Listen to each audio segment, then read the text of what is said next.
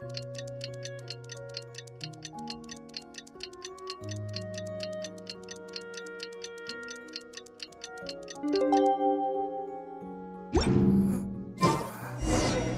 been a while since our last adventure. Oh, Paimon wonders how Minnie Durin is getting along in Simulanka.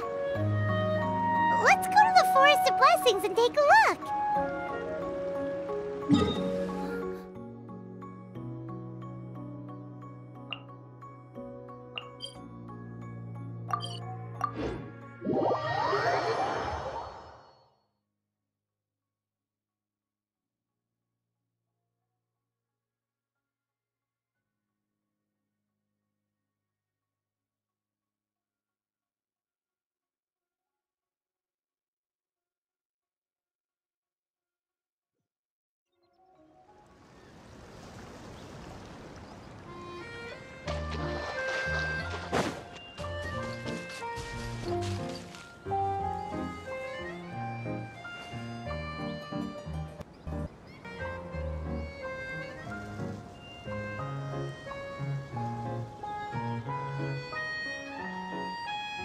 Here's your two magic tonics.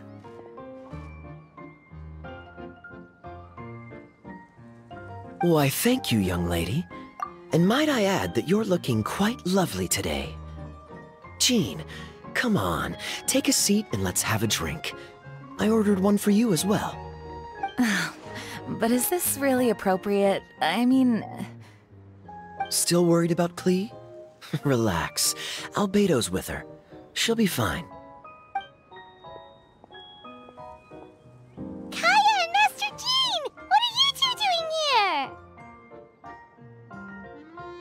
Oh, look who it is. The Traveler and Paimon. You must be the pleasant surprise that Miss Alice told us about. greetings to you both. This is one place I didn't expect to run into you two. The locals here have been talking non-stop about some brave heroes who saved the world. Let me guess. You two have been up to your old tricks. Well, not just us. We only played a small part. You could say we were two members of the Heroes Adventure Team. Still sounds mighty impressive to me. As ever, our honorary knight is making us proud wherever they roam. That's right. We received a letter of invitation from Miss Alice, proposing that we take Klee for a vacation in Fairyland when work dies down. I wasn't sure what she meant by fairyland at first, but if my eyes are not deceiving me, she was being quite literal.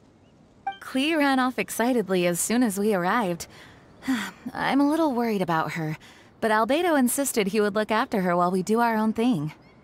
We could hardly say no to such a considerate offer.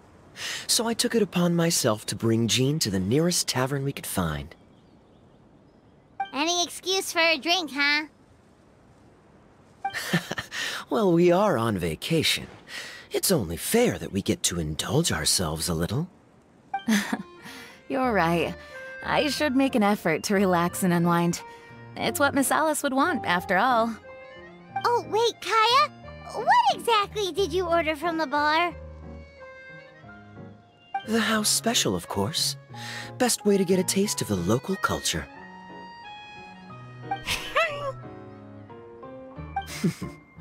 Why are you making that face, Paimon?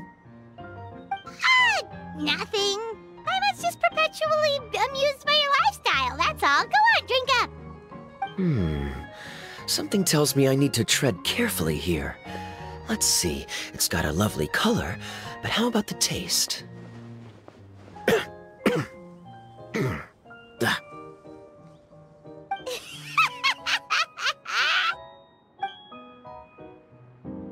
Hmm, I think maybe I'll pass. But it's such a shame to waste it. All right, Paimon. Well played. Well, Paimon got burned too, if it's any consolation. It's nothing personal. Oh, by the way, we weren't the only ones who got invited here. I saw Collei earlier. She didn't see me, though. She was making a beeline for that big tree. The Kingdom of Breezes and Bells, you mean? Oh, this is turning into a huge reunion! Maybe we should go say hi to her! All right. Well, give her my regards. Thank you. Enjoy your time here, too.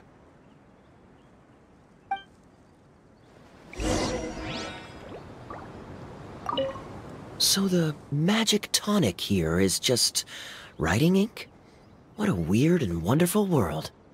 Ah, Miss Citrus, do you happen to serve any beverages here that don't contain magic tonic? Of course we do.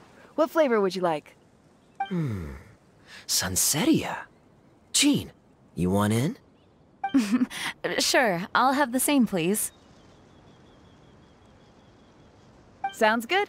Two Sunsetia drinks coming right up.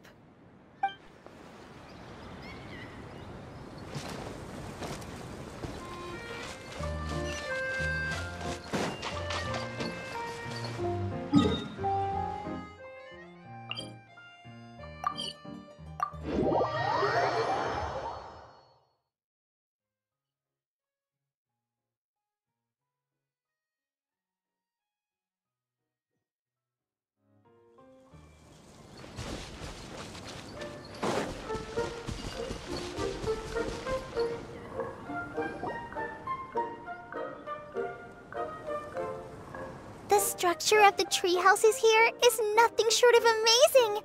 I have to write it down so I can tell Master Tighnari all about it later. Hey, Collei! Oh, you scared me. Traveler in Paimon? You got invited here too? Yep. Well, they sort of skipped the invitation part, but anyway, what you doing out here? Something caught your eye? Trying to observe and summarize the structures of the trees here, and also the animals that live here. Uh, well, the residents, I guess? I still can't get over the fact that they're all someone's origami handiwork. Once a forest ranger, always a forest ranger, huh? Not sure you'll be able to apply much of what you learn here back home, though, with this being a magical world and everything. What? Over there, by the giant footprint, have those houses always been? Oh, those? The local flying squirrels told me that they were built by a small dragon and some guy wearing a hat. Oh, that must have been Minnie Durin and Hat Guy. Uh, any idea where they went?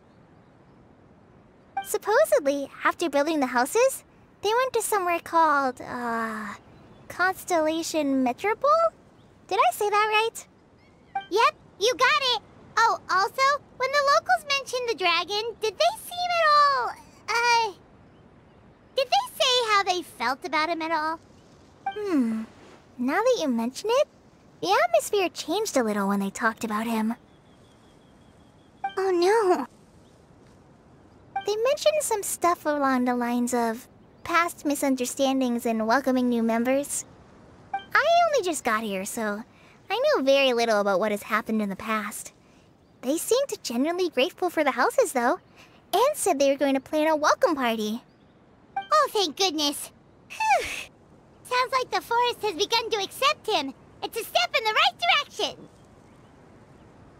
Are you looking for that small dragon?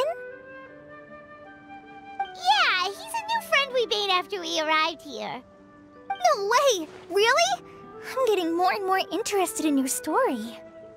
Uh, no, no, no. I've got to save it for next time. For now, I've got to make the most out of my time in this wonderful world. Oh, there's no rush. Just take it slow and enjoy yourself. Like Kaeya. Oh, he sends his regards, by the way.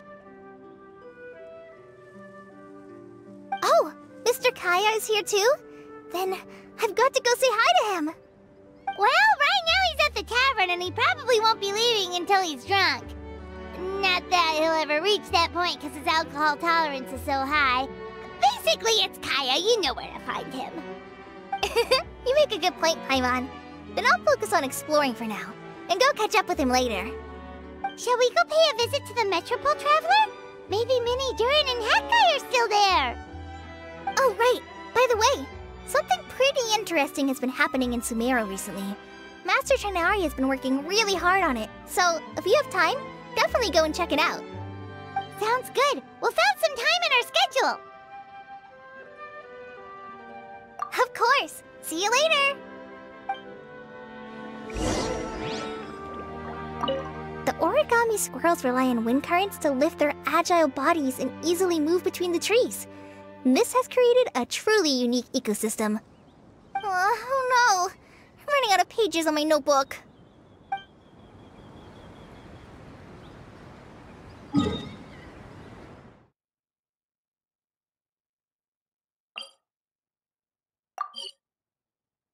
What?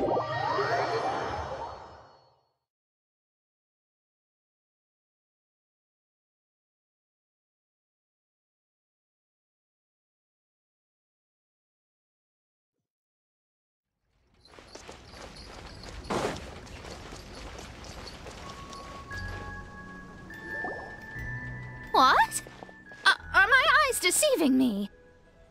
There is no way. I can't believe it. We heard you muttering from a long way away. What's up? Oh, is your scry glass acting up again? Oh, it's you, the saviors of this world. My scry glass is fine, but I'm not sure I can say the same about my eyes. Look! Look at this statue! What? Is it broken or something? Looks fine to Paimon. That's your master, right? AKA the goddess of prophecy? I refuse to believe it. There's no way that old hag looks anything like this. When she was younger. Oh, actually, now that you mention it, this does remind me of the fashionista phase she wrote about in her diary. she can't hear me, can she? I swear I just got chills down my spine. Uh, either way, it's probably a little rude to talk about her right under her statue. But how do you know it's a statue of her if you never saw her as a young woman? I did a quick scry when I came into this world, and when I saw the star's reflections, I was at a loss for words. It looks like fate in Simulanka is based directly on Teyvat. A projection of real-world fate to form an image of reality. Or in layman's terms, uh, basically, the creator made this world inside a mirror or a lake, and this world is the reflection. Still sounds pretty impressive. The more I scried, the more familiar everything looked. It's her work, there's no doubt about it. Even so, everything's far more complex than I'd imagined. Trying to decipher it all is giving me quite a headache. I also asked the locals about her. They call her she who has dominion over the stars and the course of fate itself. Not even a pretense of humility. Clearly, she let the role of creator goddess skip to her head. Not that I'm surprised in the least, of course. It certainly matches the tone of her diary. anyway, we should change the topic. Oh, Simona, have you seen a small dragon around by any chance? He's about the same size as Paimon, but with tiny little wings. Ah, you mean the one that caused all that trouble? I haven't seen him for myself, but I heard that he came to the Metropole not long ago to formally apologize for his actions. Apparently, he brought a huge stash of Toitanium and plant oil to make amends. Most people accepted his apology, although there are some who said that they'll reserve judgment until they've seen how he acts in the future.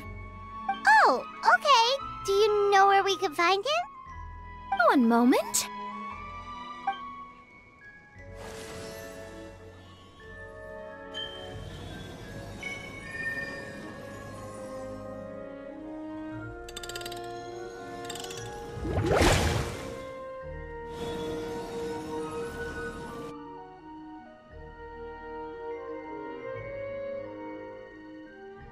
Ah, it looks like he's at the Broken Sea. There's a big group of people with him, too. Cool. Wanna come with us? We can introduce you. Hmm, I think I'll sit this one out. This might be the closest I ever get to meeting the old hag in her youth, so I think I'll spend some time seeing what else I can glean from her grand design. Uh, you guys have fun. What, what do you mean, be careful? Now you're making me nervous.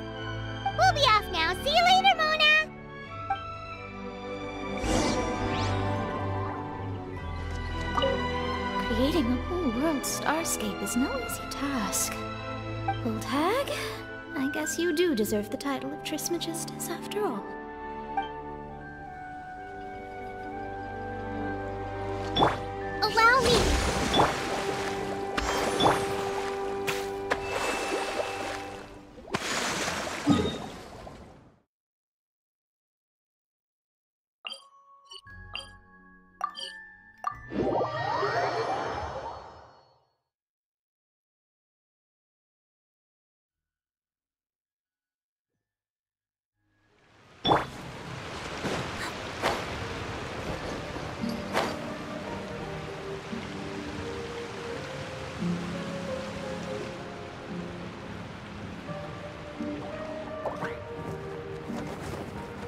Ozvaldo Hrafnavins!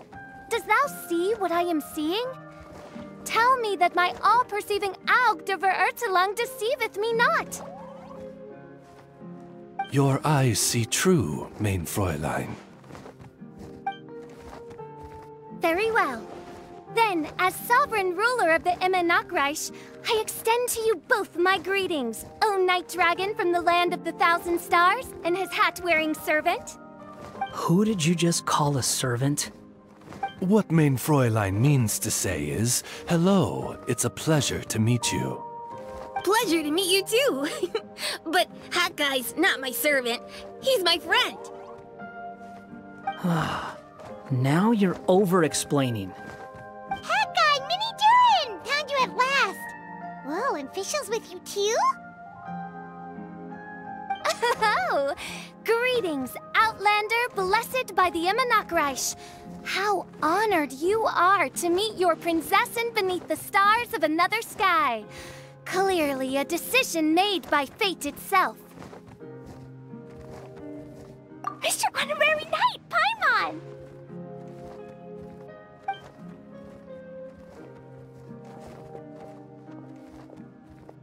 Greetings. You both look well.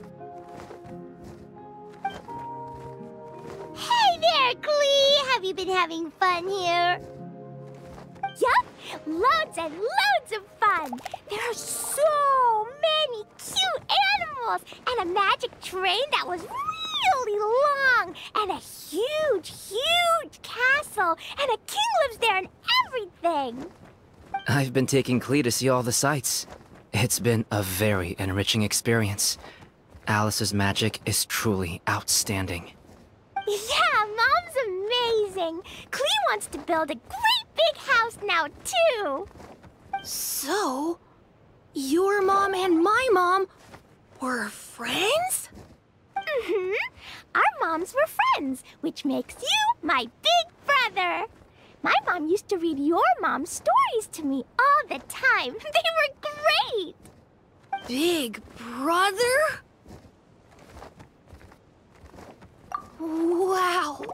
Thank you, Klee. Can I go play with Klee, Hat Guy? Suit yourself. Albedo, Albedo, can I? Go on. Uh, just don't go too far away. I'll come pick you up later. Yay! Come on, Minnie Durin. Do you want to come play with us too, Fischl? Your prinzessin accepts your invitation. Rejoice! Though you may be concealed by fog, still you shall have the good fortune to witness the true might of the Aug de Vertelang. What mein Fräulein means to say is, perhaps we can all play hide and seek together. Mein Fräulein is it. Hooray! I love hide and seek! Oh, me too.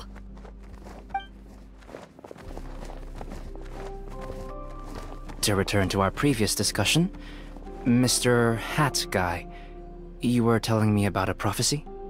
I heard B talking to M.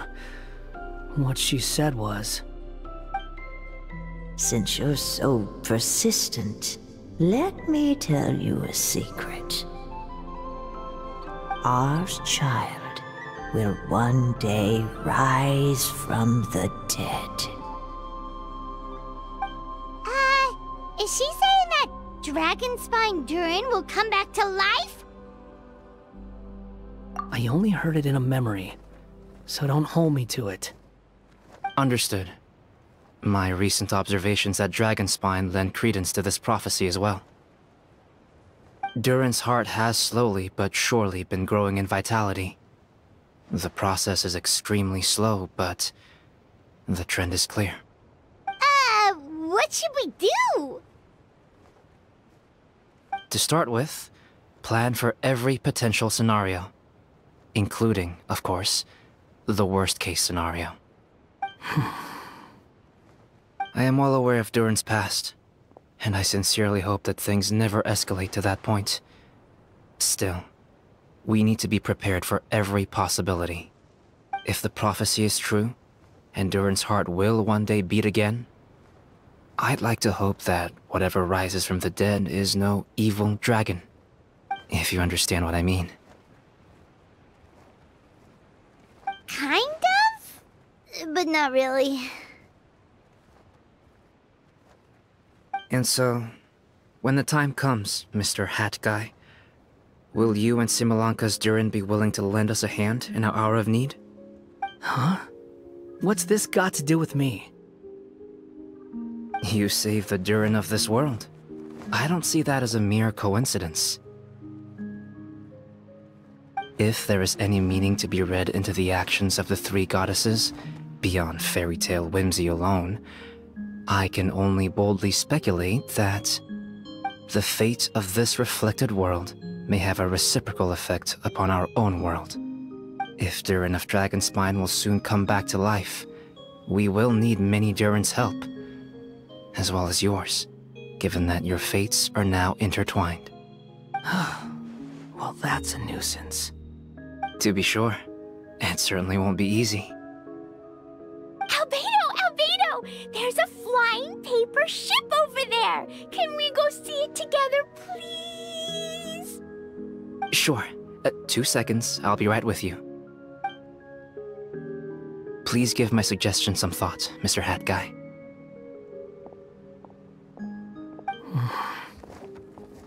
Hat guy, I'm back! Huh? What were you guys talking about? Nothing. Um... Huh. Okay then. Let's go join the others. Everyone's going to check out the new origami ship.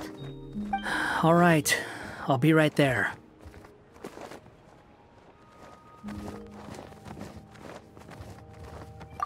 Why would I be? Do I strike you as someone who cares about other people's issues?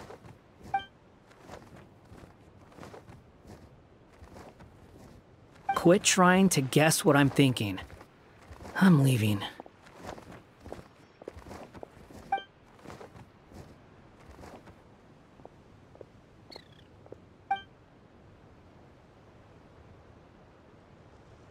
Aww, what a lovely little boat! The forest fairy helped us make it.